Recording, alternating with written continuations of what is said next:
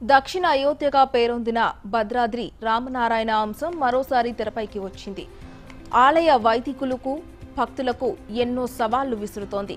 భద్రాచలం శ్రీ సీతారామచంద్ర స్వామివారి ఆలయం నిర్వహించే కళ్యాణోత్సవంలో రామనారాయణ అనే పదాన్ని ఉపయోగించి వైదిక బృందం పూజలు చేస్తోంది. కొన్ని వర్గీ వర్గాలు దీన్ని తప్పుబడుతున్నాయి.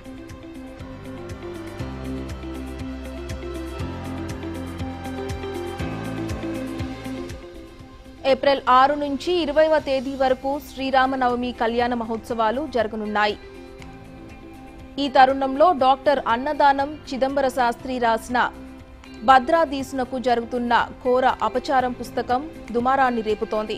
అయితే ఆలయ సిబ్బంది దీన్ని ఖండించారు. ఈ అంశంపై దేవాదాయ శాఖ కమిషనర్కు పూర్తి నివేదిక ఇస్తున్నట్లు ఆలయం కార్యనిర్వాహక నిర్వాహకాది రమేష్ బాబు తెలిపారు. ఈ వివాదాలకు పూర్తి స్థాయిలో పరిష్కారం కనుగొనాలని భక్తులు కోరారు.